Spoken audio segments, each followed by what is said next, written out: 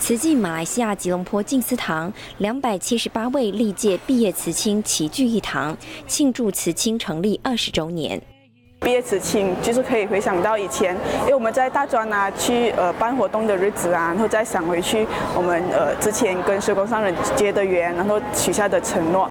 因为慈青音乐牵引着我们像家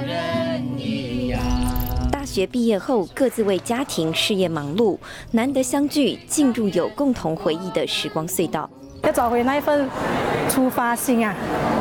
因为我们一踏入社会工作了，就是那个污染的大梁缸，都已经慢慢的找不到了。从这里又开始找回了那一份喜悦咯。是希望找回之前在慈青所那个感觉啊，因为毕竟在槟城呃有几年这样子了，然后会有累的时候，然后也是使用回来充电这样子，然后回去再继续把我慈青那边带出来这样子。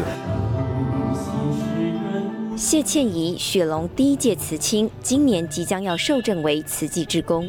当初我们就是可能会有一点辛苦，条件也不是说很好，但是这样子一路走下来哈，真的是没有后悔。黎香婷，当初的慈青，如今在慈济雪龙分会工作超过十年，坚持走对的路。重大的灾难发生，那其实才才来开始反省自己，我的生活要这样子下去吗？所以才会觉得，是不是应该思考我的人生的方向到底是什么？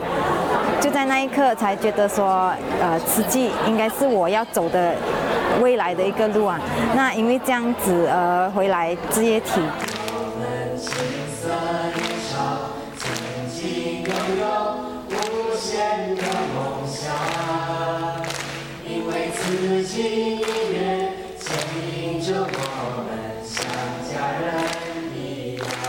青春易逝，但岁月的滋养让慈青们从小树扩成菩提林。大新闻马下综合报道。